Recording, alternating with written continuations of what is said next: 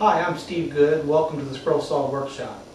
Uh, in the last video that I posted on the blog, uh, we talked a little bit about uh, cutting metal with the scroll saw and we made a little scorpion and I put a pattern up to uh, give you a few other things just to try out.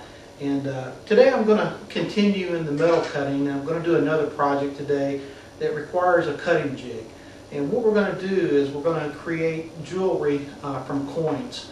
Uh, and what I'm going to do in this video is uh, make a jig that we can uh, put the coins in uh, to hold them steady as we cut them on the scroll saw. Uh, fun project, uh, makes pretty nice looking jewelry, and this is legal by the way. You can cut coins as long as they're not, as long as you're not trying to defraud anybody. It's perfectly legal to cut them. So with that, I'll show you what we need to make this jig, and we'll get started. Obviously, to take something this small, and in this case we're going to make a jig to cut a quarter, uh, obviously you can modify this just by changing the size of the hole that we're going to make uh, for different size coins. But to hold a quarter this small on the scroll saw would be very difficult, if not impossible, and, and to make some clean cuts. Uh, so what we need is some kind of jig to hold this quarter uh, steady as we're cutting. And uh, what I'm going to do is I'm going to take a block of oak now this oak is uh, three and a half inches long and it's one and a half by one and a half in dimension. And uh, what we're going to do is we're going to cut a couple holes in this uh, and then we're going to slice it in half and I'll show you as we go through it uh, to make a jig to hold this. Now I'm also going to use uh, a jig that we talked about previously here at Scroll Saw Workshop and that's this 3D cutting jig. And if you look on the blog at www.scrollsawworkshop.blogspot.com and you go back through the archives, you'll find uh, the 3D cutting jig video and uh, the plans to make this. So we've already done the plans for this, but we are going to use it in this project. The other things you'll need is a 1 inch Forstner bit and a 7 8 inch Forstner bit. I'm going to use the jeweler's blades again, so you'll need some type of cutting blade and uh, in coin cutting, you can get down to the absolute finest blades you can get your hands on. So I'm going to start out with a number two in this project, but uh, you could definitely get even smaller than this to do some detailed cutting. Also, obviously we're going to need some coins, in this case quarters. And another thing in cutting coins that's invaluable is head-mounted magnifying glasses. So you're going to see I'm going to use that today.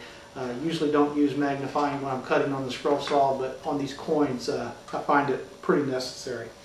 So with that, we'll get started. What I've done with this one half by one half by three and a half inch piece of oak is I've created a center point here on this, and I'm going to go ahead and zoom in here just a little bit closer. I've created, drawn a center point on this, and I'm going to take a awl, and I'm going to go ahead and make myself a little starter hole. Because what we're going to do now is take this over to the drill press and we're going to cut a couple holes. And uh, you'll see when we get over there, but what I'm going to do is I'm going to take the one inch Forstner bit and I'm going to drill a hole at a depth just a little deeper than the depth of the quarter. Uh, so it's not going to be a very deep hole obviously. It's just going to be deep enough to recess this quarter down into. Then because of the spur on the Forstner bit, we'll have a starter hole for this one and we're going to take the smaller bit, Forstner bit, and go ahead and drill all the way uh, through the piece of oak. Um, so I'll take us over to the bench or the uh, drill press and we'll get started on that. Over here at the drill press, I've gone ahead and chucked up the one inch Forstner bit. Now you want to make sure you use the one inch first because that's going to be uh, the hole that we're going to drill to the depth of a little deeper than the quarter. So I've got my punch hole already started and I'm going to take this uh, the spur of the Forstner bit and get it in that hole and again I'm going to start the uh, drill press now and we're just going to cut to a fairly shallow depth.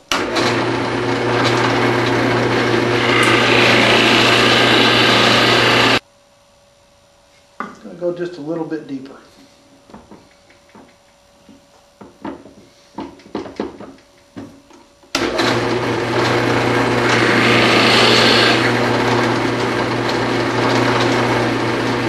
Okay, you don't want to go too deep on this cut because uh, we want to be able to have the coin as close to the top as possible. Okay, now with uh, that cut, I'm going to go ahead and chuck up the 7 8 inch bit and we'll drill through the rest of the block. Got the 7 8 uh, Forstner bit installed in the drill press now and again if you can see this I've still got the uh, small indention from the uh, brad point on the uh, 1 inch Forstner bit and I'm going to use that indention to line this up dead center to the hole here and I'm going to go ahead and cut through uh, the rest of this piece of oak. So usually before I start the scroll, the drill press, I'll go ahead and bring it down and let it go ahead and self-center into that hole. Now, probably is a good idea to, to uh, clamp this piece to the uh, drill press table. In this case, I'm, it's fairly uh, soft wood, so I'm going to go ahead and just try to hand hold it. Okay, I'm going to finish drilling through this piece. You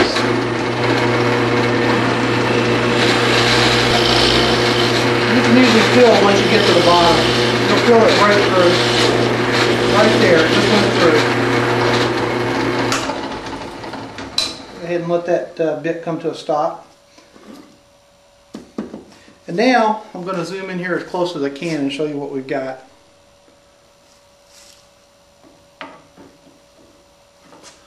If you can see this, what we have uh, after the hole, the outside hole, we've got a little ridge in here, uh, which is uh, what the quarter is going to set on.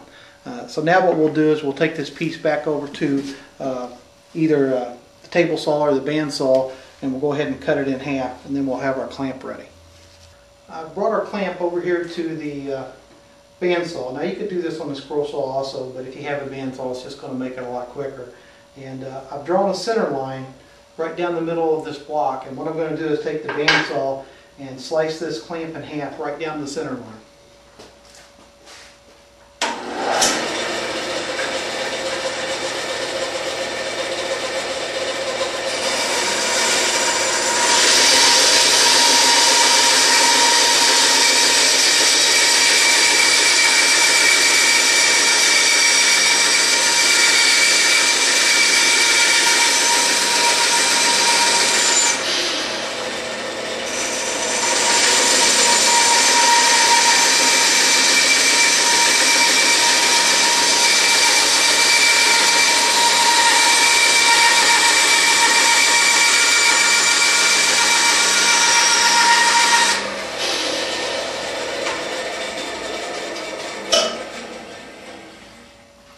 Okay, we've got uh, the two halves now cut out and uh, what we'll do now is we'll go uh, start sanding these edges down until we can get a good clamping pressure on the quarter. And I'll take you back over to the workbench and show you how we're going to do that.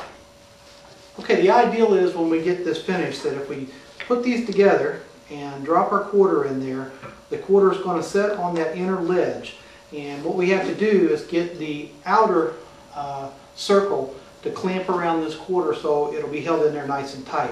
Now you'll see now that I've cut it in half, uh, the quarter still falls right out. So what we're going to do is just take off a little bit off of each edge until we get the diameter small enough that the quarter will stay in there. And to do that, I'm going to take it over to the uh, uh, sander and uh, we'll do a little power sanding on this.